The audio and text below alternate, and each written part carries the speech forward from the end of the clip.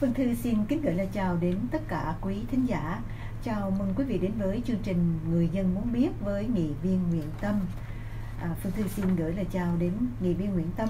Thưa tôi là Nguyễn Tâm, rất hân hạnh chào tái ngộ cùng cô Phương Thư cùng tất cả quý thính giả của đài. Thưa quý vị, hôm nay là ngày 28 tháng 4, ngày cuối tuần và đã chuẩn bị bắt đầu à, đã hết cuối tháng 4 chuẩn bị qua tháng 5 Ờ, có nhiều sinh hoạt về liên quan tới những cái ngày cuối cùng đầy xúc động này và lần được sau đây chúng tôi và cùng cô Phương Thư cùng quý vị sẽ chia sẻ với nhau.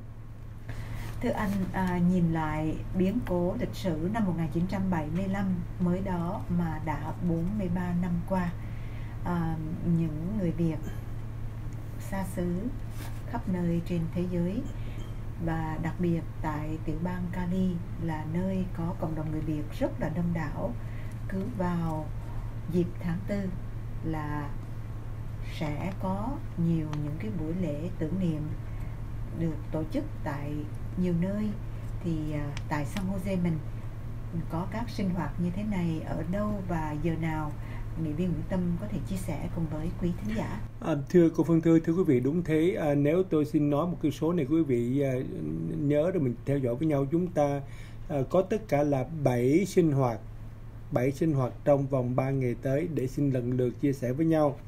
Sáng hôm nay ngày thứ bảy tôi có tham dự lễ 30 tháng 4 rất là xúc động và trang nghiêm và đông đảo đồng bào tại à, Heading do cộng đồng người Việt quốc gia Việt Nam tổ chức À, và chiều nay lúc chúng ta đang nói chuyện thế này thì chiều nay khoảng một tiếng đồng hồ nữa lúc 4 giờ chiều nay tại khu thương mại Lion Plaza ở đường Thu River King là có nhóm anh chị em văn nghệ mê linh cùng những người em thiện nguyện đó sẽ tổ chức ờ, văn nghệ đấu tranh từ 4 giờ chiều cho tới 7 giờ tối đó là tại Lion Plaza và tối nay lúc 6 giờ rưỡi tại tòa thị chính sau dây trước mặt đó thì nhóm anh em thiện chí mà mà vẫn biểu tình đó, suốt hàng tuần hai năm qua đây là đúng hai năm thưa quý vị là các anh chị bảo biểu tình về vấn đề Formosa đó.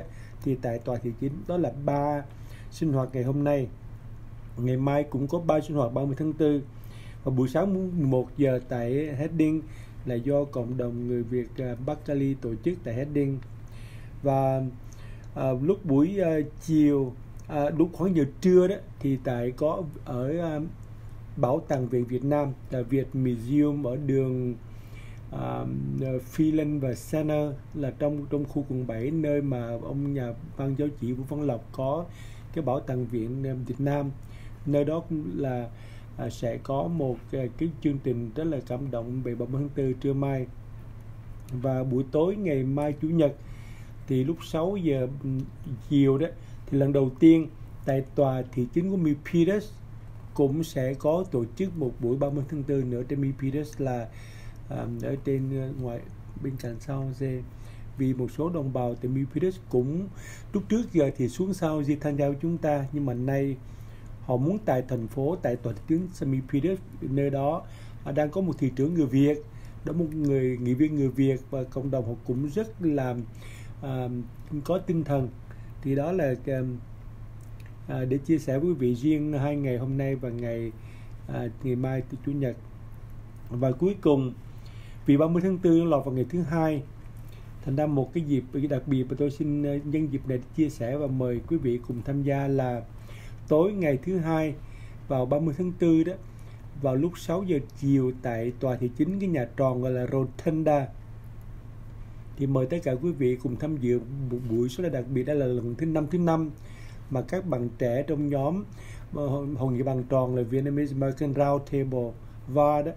Thì họ tổ chức là, đây lần thứ năm, đặc biệt họ gọi là Black April Event, tức là chúng ta mặc đồ đen cùng tham dự với một sinh hoạt về ờ, chương trình 30 tháng 4 nói tiếng Mỹ. Và cái đề tài năm nay là còn gì cho tuổi thơ? Nói về những cái ảnh hưởng và cái ờ, dao động và cái thay đổi cuộc đời cho các em trẻ thơ cho những người trẻ tuổi trong ngày 30 tháng 4 vì thế à, xin một lần nữa tôi rất là trân trọng kính mời quý đồng hương tham dự ngày 30 tháng 4 Rotunda lúc 6 giờ ngày thứ hai. Quý vị vui lòng mà y phục đồ đen để tham dự trong tinh thần của ngày 30 tháng 4 các bạn trẻ làm. Vì thế xin nhắc lại một lần nữa và xin cảm ơn quý vị để để cho tôi thời gian để chia sẻ là riêng ngày hôm nay thì chúng ta còn à, hai cái sinh hoạt là lúc 4 giờ tại Lion Plaza 6 giờ rưỡi tại City Hall. Ngày mai thì à, buổi sáng có tại Heading buổi trưa có tại Việt Museum và buổi chiều tối thì có tại Mipiris City Hall tòa đại chính Mipiris và như đã nói là tại à, Rotterdam vào tối thứ hai thì đó là những sinh hoạt mà xin được chia sẻ nhân mùa 30 tháng 4 à, để chúng ta cùng nhau hướng về một ngày một cuối tuần dành cho quê hương và à, cũng chia sẻ với quý vị mời quý vị tham gia và thưa cô Phương Thư. Vâng, Phương Thư xin cảm ơn à, những thông tin rất là bổ ích của nghị viên Nguyễn Tâm. À, trở lại với những sinh hoạt à, của cộng đồng thì à, Phương Thư à, trong chương trình người dân muốn biết này có nhận được một cái à, câu hỏi rằng là gia đình tôi có nhận được giấy thông báo về dự án xây nhà rẻ vùng Evergreen. Xin cho biết thêm về thông tin dự án này và bao lâu thì sẽ có nhà. À, thưa quý vị, thưa Phương Thơ, đó là một trong những à, cái cái đề tài rất là quan trọng và tôi cảm ơn thính giả đã hỏi câu này về vì à, đây với đề tài rất là quan trọng nha. Mặc dầu thưa quý vị ít khi chúng ta để ý nhưng mà có cái uh, sự thông tin gửi với quảng cáo thường xuyên đó thì ờ, chúng ta hay sao thì thấy thì thấy vậy thôi. Mà tôi cũng tôi không biết trong đời mình sao chứ tôi gặp nhiều lần thưa quý vị cái quảng cáo như quảng cáo trên TV hay quảng cáo những cái đồ internet mình mua về nhiều lúc cũng xài không được thưa quý vị. Thì đây là một trong những cái vấn đề đó. Đang lúc là trong tình trạng nhà cửa khan hiếm thì nhận được cái giấy à, cái quảng cáo gửi về rất rất là đẹp. À, hình ảnh à, công viên rồi nhà cửa xinh đẹp rồi hình ảnh à, Ờ, à, đôi bà đôi vợ chồng với đứa con thơ đi bộ trên vào trên bà gia đình và ông bà ngồi ngồi chơi trong cái công viên thấy thấy rất là ấm ấm lòng. Họ gọi là cái Evergreen uh, Housing Initiative là thưa quý vị như thế này để tôi xin phép được trình bày. Hơi dài dòng cho quý vị hiểu sơ nha. Là hiện nay à, tháng sắp sửa tới tháng 6 tới bầu cử nè có một cái measure gọi là measure B của một số đại công ty đầu tư. Những công ty này họ muốn à, phát triển trên đồi East Hill Evergreen là về phía Evergreen về phía mà đường à, đường Philippe đường trên núi đó thì cái khu đó có 200 mẫu đất và mẫu những 200 mẫu đất đó là dành ra để cho những công ty về mời thương mại chúng ta làm kinh doanh làm ăn. Thì nay có một nhóm công ty này họ muốn biến cái đó thành làm để xây, xây nhà cửa thì hỏi quý vị khi nghe nói xây nhà cửa ai là không muốn. Nhưng mà có những điều quý vị thiên chia sẻ sau đây. Thứ nhất à, căn những nhà cửa đó sẽ thuộc loại rất đắt tiền tức là cỡ từ triệu rưỡi 20 triệu trở lên chứ không phải bình thường đâu. Có nghĩa là xây nhà cho các biệt thự đặc biệt những người cho đắt tiền chứ không phải cho không phải cho đồng bào đâu. Việc thứ hai là quý vị biết hiện nay đó, chúng tôi ở gần khu đường chùa Đức Viên, tôi đi đi đường Tu Ly, quý vị từ Ly, từ từ đó qua bên Hà Lan rất là kẹt xe, luôn luôn kẹt xe rồi. Và nay sẽ có thêm vào khoảng như một ngàn căn nhà nữa. Một căn nhà quý vị nhớ trung bình là vào khoảng chừng hai chiếc xe, ít nhất nhé khu tôi ở là một căn nhà tới hai, ba chiếc xe, có nghĩa là đông lắm đó. Bây giờ trung bình một nhà hai chiếc xe đi.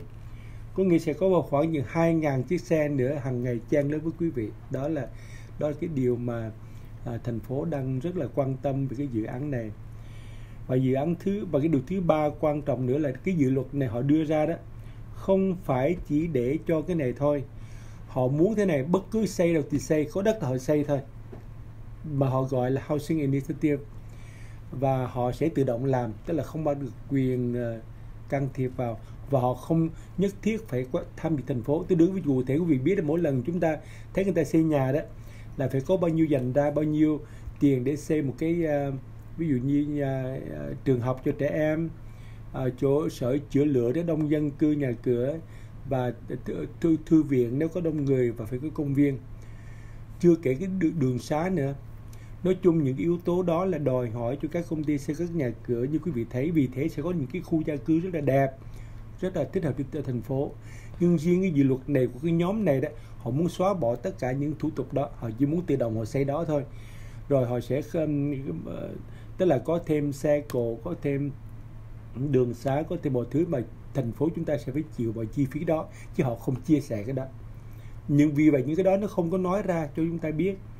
Nhân tiện câu hỏi này thì quý vị hỏi thì chúng tôi rất là may mắn để chia sẻ và cái quan tâm rằng trong tháng 6 tới đây, cái dự luật Measure B này là cho biết business thành ra đề nghị thành phố Sao rất là quan tâm và đề nghị quý ờ, ờ, cử tri đó ờ, lưu ý đừng thấy cái quảng cáo bề ngoài.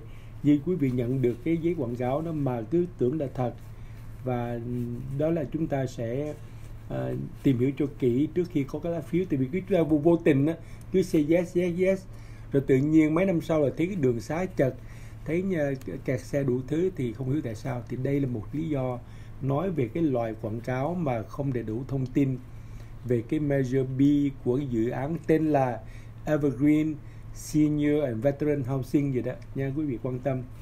Ngoài ra quý vị biết là chúng tôi thành phố Sao Jose biết việc đó ý thức rất là cao trong chuyện mà ờ, đang thiếu nhà cửa thì có một số giải pháp sau đây.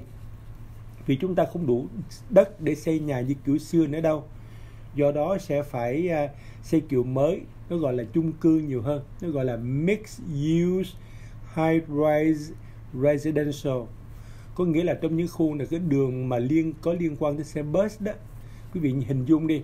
Ví dụ như là đường Monterey nè Santa Clara nè đường ờ, uh, Tully Center và Capitol Expressway. Dù đường nào mà có xe bus nhiều đó là có xe chạy mà công cộng đó thì thành phố sẽ nghiên cứu để xây các chung cư.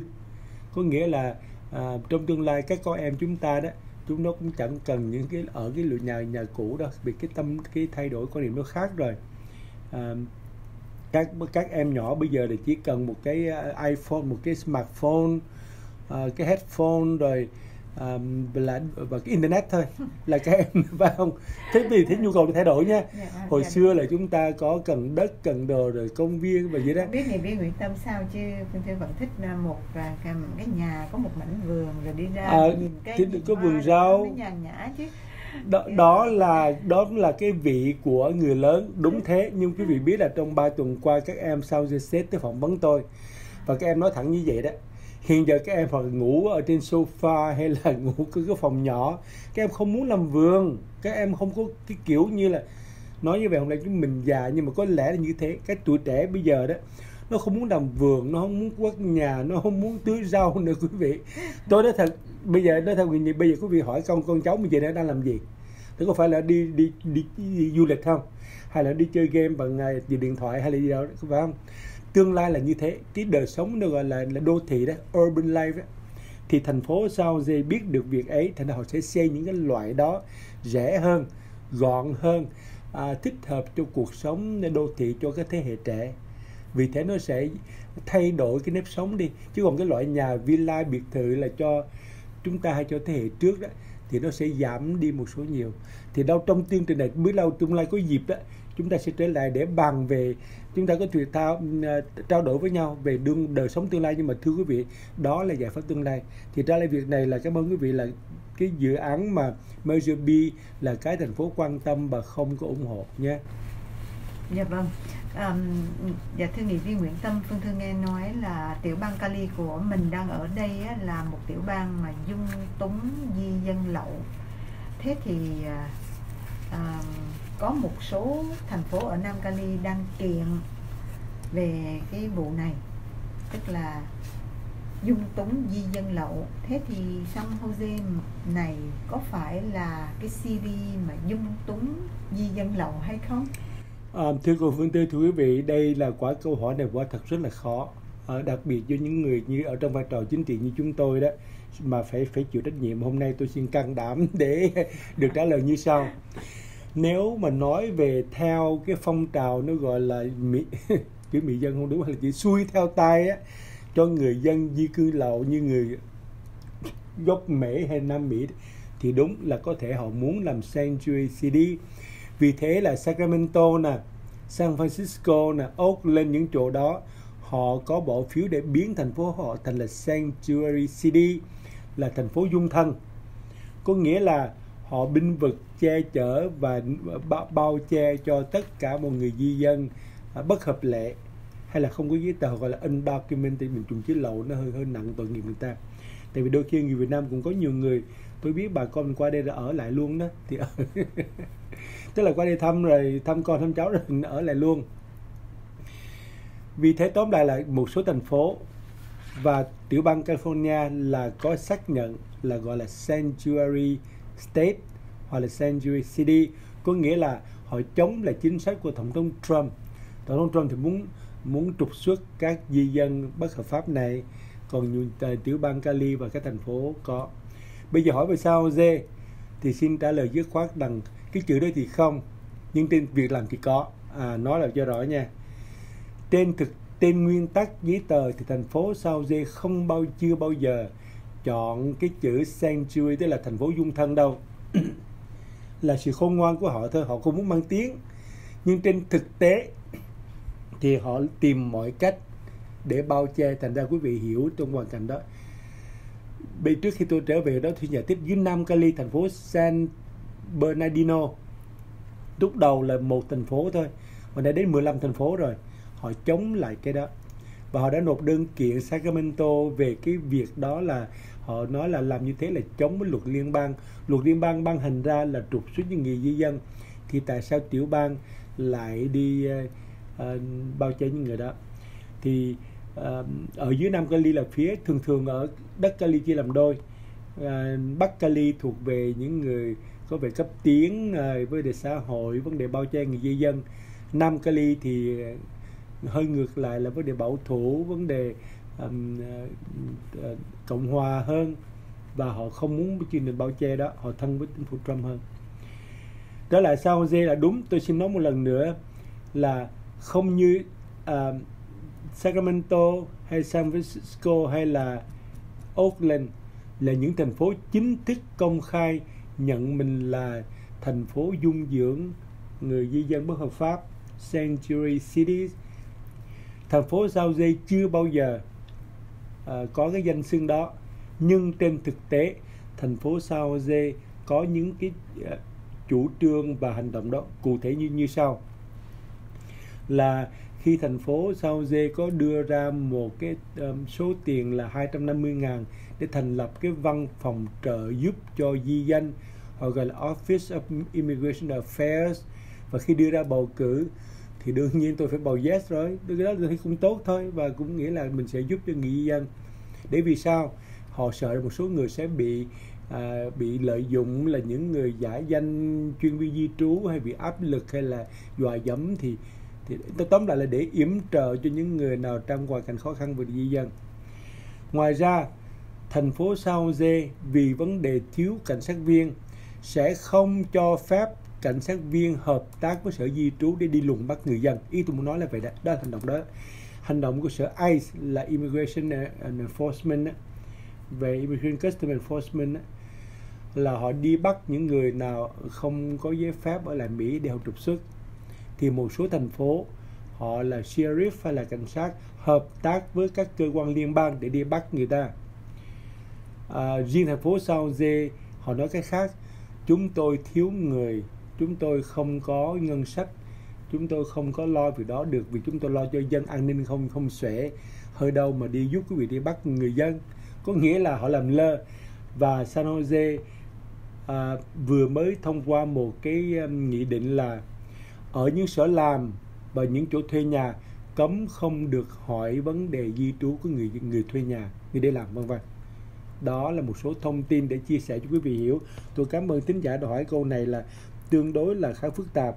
Nhưng tóm lại rõ ràng thế này là San Jose không chính thức mang danh là Sanctuary City nhưng trên hành động thực, thực tế thì họ uh, có một số hành động bao dung che chở cho những người uh, di dân không hợp lệ bằng cách là thành phố San Jose không hợp tác với uh, nhân viên công lực liên bang của sở di trú đi lùng bắt người dân nhưng mà có như thế này để quý vị nói cho rõ dễ hiểu nè. Nếu vấn đề có liên quan tới an toàn thì có. Ví dụ FBI điều tra tội phạm và thông báo là đi lùng bắt ai. Vấn đề ờ, cướp bóc băng hay giết người thì đương nhiên cảnh sát làm. Nhưng bảo vào đi truy lùng những người vấn đề di trú không mà thôi thì họ sẽ không làm. Để quý vị yên tâm rằng là vấn đề an toàn thì là số 1 tức là sao dê vẫn sẽ làm mọi việc liên quan tới bảo đảm an toàn cho người dân. Cho vấn đề an ninh thì có chứ không đi luận bắt người di trú ngược lại cái đây một tháng quý vị nhớ tại Oakland có bà thị trưởng bà rất là đẹp bà là Libby Schaff ấy. bà này thị trưởng rất là đẹp mà mà bà lại tuyên bố một câu khiến cho cho mọi người ờ, cũng ngỡ ngàng là bà đi thông báo là sắp sửa có bố ráp tại vùng Oakland liên quan tới vụ di trú thì um, cũng khó nói từ bên liên bang họ lại tố cáo là chính vì cái lời báo động đó mà thay vì bắt 600 họ chỉ bắt được có 300 người vân vân. Thì đó là một cuộc tranh cãi đôi bên xảy ra như thế thì sao dây không làm việc đó? Cũng không không là tích cực như bảy là đi bao che à, che giấu chỉ dẫn hay chỉ đường tuyến ngựa lậu đâu. Nhưng mà ngược lại cũng không à, à, không không dùng cảnh sát để hợp tác với sở liên bang. Để cho nói là rõ ràng cảnh sát Sao Dê chú trọng thời gian lo vấn đề an toàn người dân à, vấn đề kiểm soát vấn đề phòng ngừa vấn đề tuần hành vấn đề điều tra vân vân. Chứ không chuyên môn đi lùng bắt người à, à, di dân bất hợp pháp. Đó là để tôi trả lời hy vọng là không biết tôi nói gì có dài và có có rõ cô từ hy, hy vọng rằng là phần giải thích ờ, của luật của nghị viên Nguyễn Tâm cũng làm cho một số các quý đồng hương ngoài kia hiện nay chưa đủ giấy tờ hợp lệ uh, bớt lo lắng bớt những cái stress vâng. trong cái đời sống rằng là uh, chung quanh mình lúc nào cũng sẵn sàng uh, rình vồ để mà chụp mình bất cứ lúc nào. Thì ít nhất là câu trả lời của nghị viên Nguyễn Tâm cũng làm sáng tỏ được điều đó với những người ở San Jose mà không vướng vào những cái tội hình sự gì cả. Đúng, thưa cô Phương Thư nói điều đó rất là đúng. Chúng tôi chia sẻ thế này và công bằng mà nói. Những người nào có những tội hình sự mà tội va lên những tội mà hung dữ đó thì chịu thua. Cái đó là luật pháp đã có quy định rồi nha còn như thưa quý vị biết không? Ví dụ như hai cái DUI là cũng đủ để bị trục xuất nhé. Hoặc là nói gì ví dụ như là những cái một số hành động tương đối ít thôi mà tội felony là đã bị trục xuất thành ra rất là quan tâm. Bây giờ xin thưa thế này là thành phố San Jose sẽ không điều tra về những vấn đề thủ tục di trú. Vì vậy và cấm không cho được uh, chủ nhà hỏi về vấn đề di trú. Hoa là sở làm hỏi về di trú. Có như những người nào tại San Jose thì yên tâm biết chắc chắn là thành phố San Jose sẽ không can dự vào cái tình trạng di trú của mình. Tôi nói như vậy quý vị yên tâm đi. À, còn ờ, còn những vấn đề an ninh thì vẫn còn làm nhưng mà vấn đề di trú thì không can dự vào thành ra cô phân cứ nói đúng. Là quý vị yên tâm và quý vị có thể liên lạc với thành phố bất lúc nào chúng tôi sẽ luôn luôn tích cực giúp đỡ cho cái người di dân vâng, vâng, vâng, vâng. vâng dạ vâng. Um, một câu hỏi khác gửi đến chương trình người dân muốn biết là tôi có một căn nhà không nằm trong quận 7 nhưng mà liên quan đến thành phố thì tôi nghĩ là luật lệ như nhau. Xin hỏi câu hỏi là lúc tôi mới dọn đến thì tôi không để ý nhưng mà sau khoảng 7 8 năm thì cái hàng cây ở trước nhà cao lớn lên rễ mọc làm à, nứt cái đường xi măng cho người đi bộ. Thì à, thành phố có cho người đến xịt à, xịt cái sơn màu xanh và bắt tôi phải sửa người hàng xóm á, thì bày cho tôi cái mánh là tôi khỏi có cần sửa mà chỉ cần mài láng cái xi măng xuống cho cái chiếc xe lăn mà chạy được á, là ok rồi. Như vậy có đúng không? Nhờ người viên Nguyễn Tâm giải thích. À, cảm ơn cô Phương Thư và chú quý vị. Đây là cái câu hỏi rất là thực tế và mỗi lần mỗi lần nói tới vụ này thì tôi lại nhớ trường, trường hợp chính tôi là cũng là nạn nhân vậy. Có nghĩa là mình cũng ở một cái căn nhà bình thường rồi những cái cây lớn nào mình không hay và nó nung cái nung cái rễ lên nó làm làm cái làm cái sidewalk của mình á bị nứt còn đỡ nó bị bị bị cấn lên đây cô thử nó bị nó bị nhô lên một chút. Hay là miếng này nó nhô lên miếng kia và thưa quý vị đúng thế. Khi nếu nó nhô nó cách nhô nhấp nó nhấp nhô nhau mà quá một phần tư inch tức là một nửa um, cm đó là có trở ngại ở cỡ cái chỗ chỗ này phải nói thật là cũng công bằng mà nói là thành phố mấy nhân viên cũng không có quận đâu mà họ đi đi dọn đường như thế đâu. Cứ họ chỉ họ chỉ bị khiếu nại thôi. Đó. Chúng tôi có nói chuyện trực tiếp và nhiều lần nói chuyện với ông ông manager của chuyên về cái code enforcement này về transportation. Họ nói nó rõ ràng là chỉ có khi nào có hai trường hợp. Một là hàng xóm nó để ý mình quá, nó khiếu nại. Hai là những người đi xe lăn. Đó thì đi xe lăn đó đôi khi họ gặp ghềnh họ nguy hiểm hay là họ không đi được. Nếu cứ gồ ghề quá thì họ khiếu nại. Mà khiếu nại thành phố phải làm liền họ gửi một tờ giấy liền. Thì trung bình cái loại này mà muốn bứng lên cái miếng đó xong rồi làm đất bằng rồi trải xuống lại thì tốn vào khoảng 3 4 ngàn đồng vân vân. Người Việt Nam mình giúp nhau làm rẻ cũng khoảng không dưới một ngàn rưỡi có thể tới hai ngàn. Đó là chi phí như thế. Vì vậy cái người hàng xóm họ, họ có cái đề nghị đó tôi nghĩ bản thân ông đó chứ cũng đã kinh nghiệm rồi. Có nghĩa là thế này, đúng là những người bên thành phố khi họ có được khiếu nại thì họ sẽ xuống, họ lấy cái sơn màu xanh đó, họ xịt cái chỗ nào đó, những chỗ mà bị ảnh hưởng đó, rồi họ gửi về tờ giấy mình có 30 ngày 60 ngày, vân vân. Thưa quý vị, việc thứ nhất, quý vị cần làm những chuyện sau đây. Thứ nhất là báo liền thành phố để xin họ đúng hạn, có nghĩa là có thể họ gia hạn chứ họ không có làm gấp đâu. Ờ, nếu chúng ta bận rộn hay không gì thì xin nói là chúng tôi xin gia hạn 30 ngày họ sẵn sàng làm.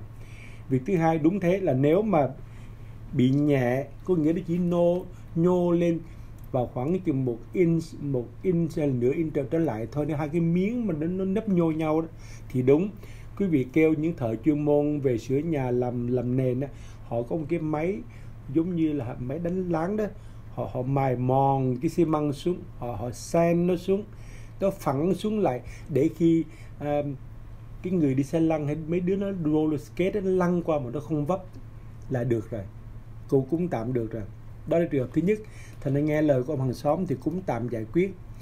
Nhưng còn nếu nó nó nó nó nó, nó nhô cao quá mà mài xuống rồi nó vẫn còn chấp nhô thì không nên. Có nghĩa là dù cho làm như thế mà nếu có người đi vấp té thì mình e rằng chịu trách nhiệm cái đó gọi là cái gì một đồng uh, sợ tốn bốn đồng không đủ thưa quý vị. Là những trường hợp đó quả thực mình phải làm vì sao? Đã có warning rồi đã có giấy cảnh cáo rồi mà không làm họ té một cái thì chỉ bảo hiểm đền rất là nặng. Vì thế trong cái lợi nó bất cập hại nha thì vậy thưa quý vị là xin lưu ý là nếu mà nó ít đó, nếu nó chỉ hơi nhấp tí xíu và mình mài xuống nó láng thì hãy làm. Còn nếu mà cái rễ nó đã nung cao nghiêng một bên lên rồi mà nhấp nhô rồi thì tôi nghĩ nên nên đập cái đó ra, đào à, xúc cái đất nó bằng xuống rồi trắng lại nó tốn một tí. Nhưng mà phải quan trọng nói rõ thế này, không nhất thiết phải kêu những cái loại như mất tiền như thành phố nói, mà quý vị kêu bất cứ người nào làm về xi măng, bê tông đó, cứ làm xong, lắng xong cái chụp tấm hình, gửi trả về họ email là họ thỏa mãn ngay. Thưa quý vị, đó là kinh nghiệm. Vì tôi nói là một lần nữa xin nói rõ nè những người nhân viên thành phố này, họ không có thì giờ và không có không có vui sướng gì trong chuyện đi đi lùng các đường xá mà để làm giấy phạt đâu. Họ chỉ phải cực chẳng đã đi ra là vì có hàng xóm, hay có người đi xe lăn, hay có các em đi skate, nó nó thăng phiền cái chỗ cụ thể thì họ mới làm mà thôi. Thành ra quý vị yên tâm việc đó chứ không phải họ ghét bỏ gì mình. Và chứ nói lại là mỗi hoàn cảnh nào thì sửa theo cái đó, miễn là cái đường sidewalk nó đi đi cho trơn tru là được rồi nha. Vâng, cảm ơn à, uh, nghị viên Nguyễn Tâm. Còn một vài phút cuối, nghị viên Nguyễn Tâm còn muốn chia sẻ điều gì với thính giả không? Thưa quý vị, đúng tuần trước chúng tôi có nhắc tới việc là uh, Sở Bầu cử à, Santa Clara County uh, Registrar of Voters đang cần tuyển bây giờ đã được có một ngày còn tới 4.000 người nữa chưa có chỗ thưa quý vị. Chúng ta còn vào khoảng 5 uh, 6 tuần nữa để sẽ tới mùa bầu cử là ngày 6 ngày 5 tháng 6 tới thì họ cần vào khoảng 4.000 người nhân viên, một số họ sẽ huấn luyện mình và để mình làm việc. Và tùy theo khả năng có thể họ trả tới 200 đồng một ngày, đủ đủ mọi loại. Và sau đó là cái ngày bầu cử.